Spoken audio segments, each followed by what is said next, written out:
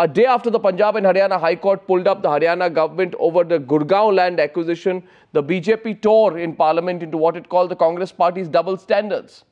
Arun Jaitley leading the charge saying the Congress has one rule for Bhatta Parsaul and another for Haryana.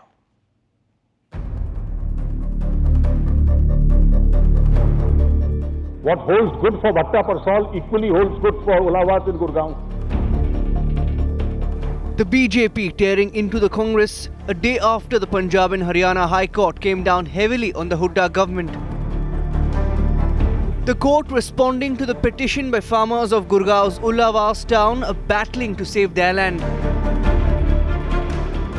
से पहला जो DC था गुड़गांव का आके पंचायत के ऊपर इस बात का प्रेशर बनाया भाई भूपेंद्र हुड्डा का दबाव है सोनिया गांधी के लिए ज़मीन जा रही है राजीव गांधी ट्रस्ट के लिए जा रही है चालीस कनाल ज़मीन पे तो एक लीज करा ली और नौ कनाल ज़मीन पे उनका कोई फैमिली डॉक्टर है राजीव गांधी परिवार का। In the heart of the controversy the nation most powerful family blame by farmers for bending rules to swing the deal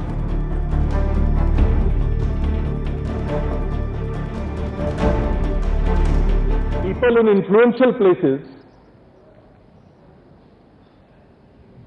cannot use this state power as a subterfuge A direct charge against the Congress, the BJP drawing parallels to the struggle in Bhatta Parsaul, almost to call its campaign in UP a bluff. The charge echoed by the Maya government. इसको मामला हरियाणा और और court के हरियाणा सरकार और court के बीच में है जो फैसला होगा उसको हरियाणा सरकार को मानना चाहिए the Hooda government quick to respond, denying any illegality in the acquisition process. The panchayat which was not getting a single penny out of uh, this land has started getting an income of 15 lakhs which is paid in advance every year. The Gandhi scion has made farmers' rights in the face of land acquisition his key political strategy. The Congress now keeping mum as they mull their response.